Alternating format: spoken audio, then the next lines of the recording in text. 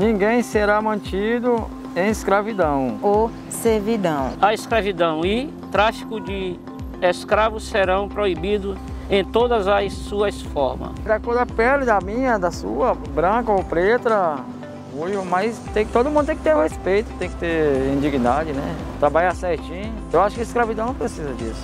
Tinha que ser combatido. Artigo 4. Ninguém será mantido em escravidão ou servidão. A escravidão e o tráfico de escravos serão proibidos em todas as suas formas. A Declaração Universal dos Direitos Humanos ela completou em 2020 75 anos.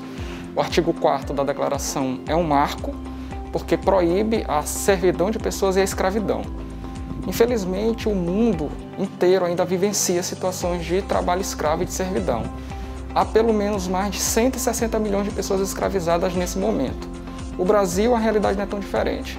Os dados apontam que entre 1998 e 2018, cerca de 50 mil pessoas foram resgatadas de fazendas e locais onde eram promovidos a, a, a escravos. Isso se dá por conta de uma grave crise econômica que nós temos vivenciado no, no mundo e especificamente também no Brasil, e também a ausência de uma fiscalização efetiva dos órgãos de Estado acerca do, desse crime. Né?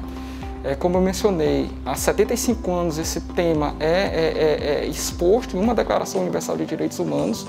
Infelizmente, ainda nós temos situações absurdas, situações de grave violação aos direitos humanos quando trabalhadores e trabalhadoras são é, escravizados no, no, no Brasil e no mundo.